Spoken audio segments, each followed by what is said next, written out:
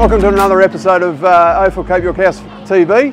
Um, this is our final episode and uh, it's uh, on our 2020 graduation and awards night. It's a fantastic night where we get to celebrate the achievements of our special young people uh, that come down and transition through uh, education and, uh, and through everything that we offer here at AFL Cape York House Boarding. So um, we're going to click play on uh, some memories throughout the year and also um, some footage and, and photos from uh, what a, a, special night here at AFL Cape York House, graduation and awards night.